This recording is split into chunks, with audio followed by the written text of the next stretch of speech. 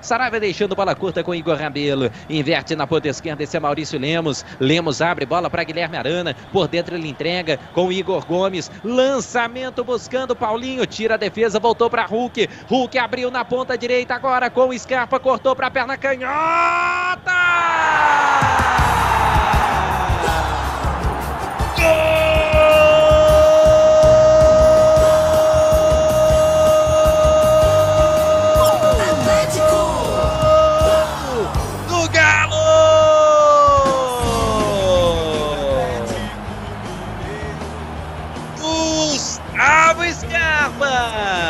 O skatista faz o flip pra galera. Gustavo Scarpa na dobradinha que rendeu mais uma vez. O Criciúma afastou parcialmente a bola. Sobrou com o Hulk. Ele viu o Scarpa aberto na ponta direita. E aí ele fez o que ele mais gosta. Cortou pra canhota. Bateu colocada. A bola ainda pega na marcação e vai no fundo das redes. Levantamento de cabeça tira a defesa atleticana. Galo vai tentar puxar o contra-ataque na esquerda. Era com Cadu. A sobra de bola fica com Criciúma. Cruzamento perigoso. Ela passa!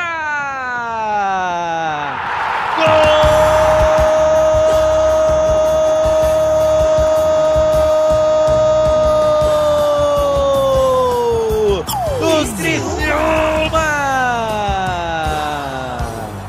Era o que a gente falava. O jogo estava perigoso na reta final. O jogo caminhava para aquele momento decisivo. O Criciúma pegou o rebote lá na ponta direita. O cruzamento, a bola passa por todo mundo. Igor Rabelo não corta, Saravia também não. Chega lá no segundo pau, me pareceu Mateuzinho mandando pro fundo das redes.